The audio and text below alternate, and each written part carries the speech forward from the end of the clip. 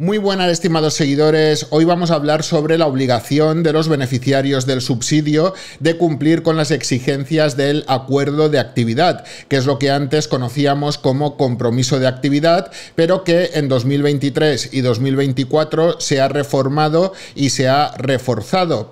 Todos los beneficiarios del subsidio, cuando acceden a este, están obligados a inscribirse como demandantes de empleo en el servicio público de su comunidad autónoma y a suscribir el llamado llamado acuerdo de actividad. En este vídeo vamos a explicar en qué consiste este acuerdo de actividad y cuáles son las consecuencias de su incumplimiento, qué penalizaciones se aplican a los beneficiarios del subsidio cuando no cumplen con lo estipulado en ese acuerdo. Antes de empezar, un poco de publicidad sobre el recientemente estrenado Club Laborteca. Para aquellos que queráis contenido exclusivo para miembros, podéis conseguirlo a través de una suscripción de 4 euros con 99 céntimos mensuales. Para uniros al Club Labroteca simplemente tenéis que pulsar el botón unirme que encontraréis en este mismo canal de YouTube. Y quienes queráis estar informados sobre la jubilación en todas sus modalidades y algunos consejos para mejorar vuestra futura pensión, tenéis a la venta en Amazon mi libro de cara a la jubilación.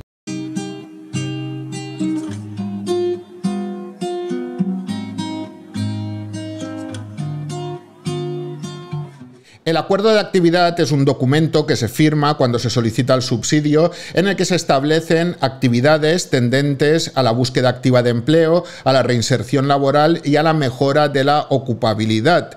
El Servicio Público de Empleo se compromete y está obligado a proporcionar a cada persona un plan individualizado de acuerdo con su profesión habitual, su formación, su experiencia previa, etc. Este plan individualizado, que irá acompañado de el seguimiento de un tutor, debe facilitar servicios y actividades que propicien la reinserción en el mercado laboral de la persona desempleada. Y a su vez, esta, la persona desempleada, está obligada a participar en todas las actividades formativas y de distinta índole que ofrezca el Servicio Público de Empleo, así como en su caso aceptar ofertas de empleo adecuadas de acuerdo con su profesión habitual, experiencia, formación, etc. Además, deberá acreditar que ha cumplido con las actividades y las actuaciones suscritas en ese acuerdo de actividad, pues en caso contrario se puede considerar que se ha incumplido el mismo. Y el incumplimiento del acuerdo de actividad supone la suspensión del subsidio hasta que se reactive este acuerdo de actividad y además una penalización consistente en la pérdida del subsidio durante un número de meses, dependiendo de la gravedad de la infracción y dependiendo de la reincidencia, de cuántas veces se ha cometido. Por ejemplo, se considera infracción leve no aportar el justificante de haber comparecido a una entrevista de trabajo de una oferta de empleo de las que manda el Servicio Público de Empleo o alguna agencia de colocación. Y también se considera infracción leve no comparecer y no participar en actividades formativas que promueva el Servicio Público de Empleo o las agencias de colocación, además de cualquier otro incumplimiento del acuerdo de actividad siempre que no esté considerado considerado como infracción grave, de las que voy a explicar a continuación. Por estas infracciones, por las leves, se impone una sanción consistente en la pérdida del subsidio durante un mes. Sin embargo, si se reincide, se incrementa el número de meses de pérdida del subsidio. Por ejemplo, para la segunda infracción, tres meses de pérdida del subsidio. Para la tercera infracción, seis meses de pérdida del subsidio. Y para la cuarta infracción, la extinción definitiva del subsidio y como infracciones graves se contemplan rechazar una oferta de empleo válida y adecuada para la persona desempleada de acuerdo con su profesión habitual, su formación, su experiencia y sus características profesionales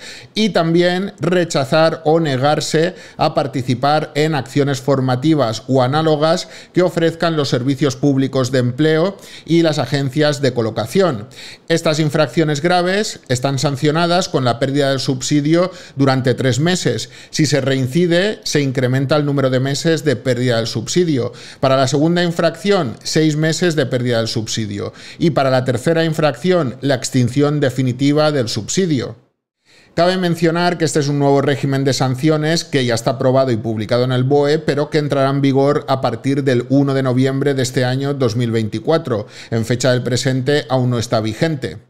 Cuando el subsidio se suspenda por alguna de las causas contempladas en la ley, entre las cuales se encuentra el incumplimiento del compromiso de actividad, para reanudarlo será necesario reactivar este compromiso de actividad.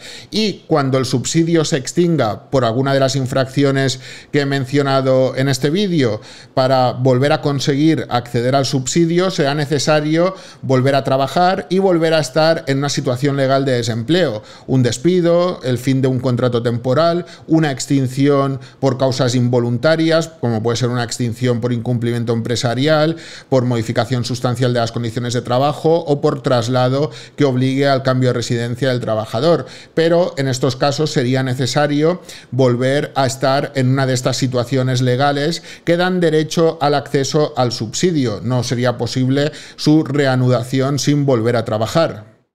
Y esto es todo por hoy. Antes de despedirme, animaros a que os suscribáis a mi canal de YouTube porque es la mejor forma de ayudarme para seguir creciendo y a quienes os interese acceder a contenidos exclusivos, que os unáis al Club Laboroteca por una cuota de 4 euros con 99 céntimos al mes, podréis ver vídeos premium. Con esto pongo punto y final, os mando un afectuoso saludo y nos vemos muy pronto en el siguiente vídeo.